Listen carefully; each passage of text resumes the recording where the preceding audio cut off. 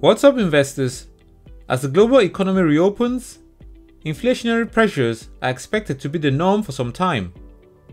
So, in this video, I'll be sharing with you two top penny stocks which are good inflation bets and are amongst the best penny stocks to buy or watch as the economies reopen.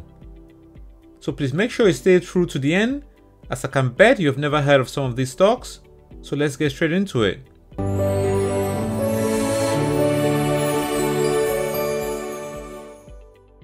Welcome back and thank you for being here. And if you're new to my channel, please subscribe and hit the bell as I always bring you the hottest stock tips and always get straight to the point. And also if you would like to support the channel and are looking for a good investment platform, I do recommend using Webull, which is now trading crypto and are currently giving away two free stocks worth over $1,800 when you create a new account. And so if you don't already have one, please click the link in the description below or the pinned comment to sign up for a new account. I really appreciate it, thank you. And also if you enjoyed this video, please make sure you give it a big thumbs up and let me know your thoughts in the comment section below. What other penny stocks you currently hold in your portfolio? And so with that said, let's get straight into it and start with Chico's FAS, ticker number CHS. Chico's FAS has a share price of $4.39 per share and a market capitalization of $538 million. Its share price is already up by 44.8% in the month and also up by over 190% in the last six months, reflecting the broader vaccine rollout enabling brick and mortar shopping. And the added bonus with this penny stock is that it does pay a dividend with a yield of 2%. Chico's FAS is a cultivator of brands serving the lifestyle needs of fashion savvy women of 30 years and older. Their brand portfolio consists of three brands, which are Chico's, White House Black Market, and Soma, which are all specialty retailers of private label women's apparel, accessories, and related products. And as of January 1st, 2021, they had over 1,308 boutiques and outlets throughout the United States as well as an online presence for each of their brands. In their latest results for 2020, they announced that they had seven consecutive months of sales growth, and their total net sales for Q4 2020 was $386 million, down from $527 million in 2019. They also ended with a net loss of $79 million, significantly higher than $4 million from the prior year, driven by the pandemic challenges. They have, however, been very proactive in their approach to cost reductions, having realized over $235 million in savings in 2020, which was 23% greater than was planned. And for 2021, they are looking to consolidate their sales trends to improve on the back of COVID-19 vaccine rollout. They forecast ongoing investments in digital channels to deliver continued sales growth and other initiatives to drive growth and reduce costs. So some exciting times for this stock as we head into the second half of the year, where if 2019 sales growth of over $500 million is anything to go by, then there's a lot more to be offered by this stock. So if you want to invest in it, you want to strike in at the price which you like and one that works for you. And so I'll start by cost averaging in with the stop loss ideally in the range of 5 to 10%.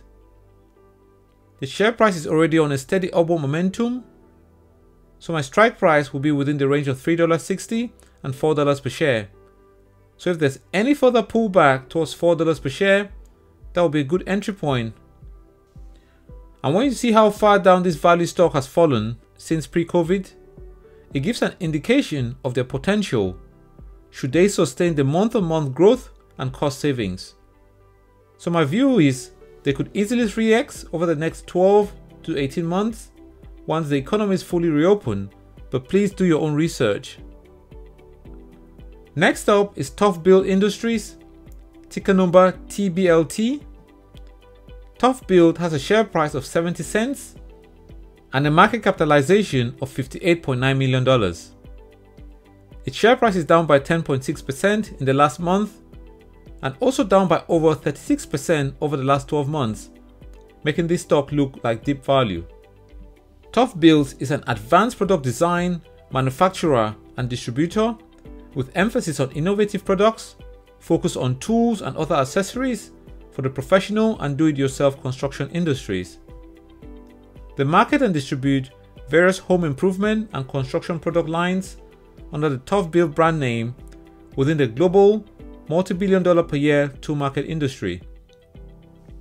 And since launching product sales in 2013, they have experienced significant annual sales growth and their mission is to provide products that are innovative, of superior quality for their end users while enhancing performance. ToughBuilt recently reported their financial results for Q1 21 and stated that revenues increased by 214% to $12.3 million compared to $3.9 million in Q1 2020. Their gross profit margins also increased by 128% to $3.5 million compared to $1.5 million in Q1 2020. And for the full year 2020, their full year revenues increased by 106% to $39.4 million as compared to $90 million in 2019, with gross profits also increasing by over 162% to $14.7 million. They have also grown their global presence, serving the United States, Canada, United Kingdom, Europe, Australia, New Zealand, and South Korea. So, some solid top line growth and profit margins backed by international expansion.